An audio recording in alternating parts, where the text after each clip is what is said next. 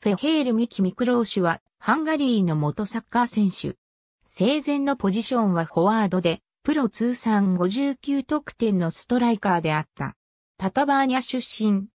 プリメーラリーガの SL ベンフィカ在籍中の2004年1月25日、ギマランイースにて行われた、ビトーリア SC とのリーグ戦の最中に、心筋梗塞により死去した。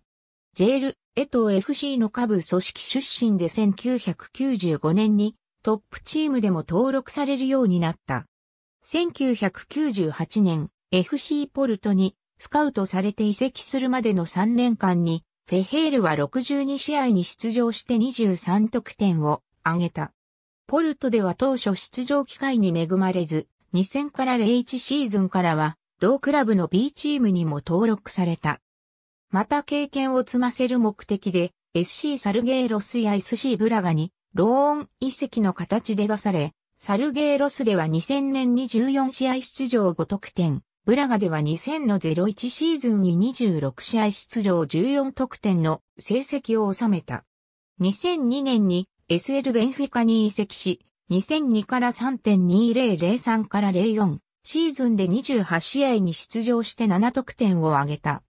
2004年1月25日、ベンフィカはビトーリア SC のホームタウンであるギマランイスで、同クラブとのリーグ戦に臨むために遠征した。フェヘールは後半15分から試合に出場し、試合終了間際にフェルナンド・アグイアールが挙げた決勝点となる得点をアシストしたが、その際、遅延行為によるイエローカードを受けた。イエローカードを受けた直後、フェヘールはピッチ上に前のめりに身をかがめ、そしてピッチ上に仰向けに倒れた。心肺蘇生法が施された後、フェヘールはピッチ内に到着した救急車によって病院へと搬送されたが、3時間後に死亡が確認された。まだ24歳の若さだったフェヘールの死因は、肥大型心筋症による心停止だということが分かった。この試合はテレビで生放送されていて、チームメイトのみならず、相手選手なども悲しむ姿がしばしば映し出された。フェヘールを記念して、ベンフィカは、フェヘールが用いていた同クラブの背番号29番を永久欠番とした。また祖国ハンガリーに埋葬のため搬送されるまで、フェヘールの遺体はベンフィカのホームスタジアムであるエスタディオダルスに安置され、FC ポルトのサッカーディレクターであったレーナルド・テレス、そしてジョゼ・モーリーニョを含む多くの人々が弔問に訪れた。同年5月、全選手を含むベンフィカの代表団はハンガリーに渡り、フェヘールの両親に2004から05シーズンのリーガ、サグレスチャンピオンメダルを手渡した。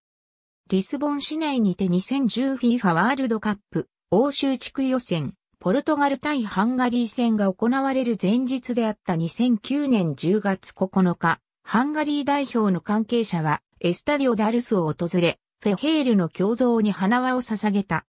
1996年に U-21 ハンガリー代表に選出されたことがあり、2000年まで同代表より招集を受けた。1998年10月、UEFA ユーロ2000予選でハンガリー A 代表にデビューし、通算25試合に出場して7得点を挙げた。2000年10月11日には2002 FIFA ワールドカップ予選グループリーグのリトアニアとの試合では、ハットトリックを記録している。ポルトベンフィカ。ありがとうございます。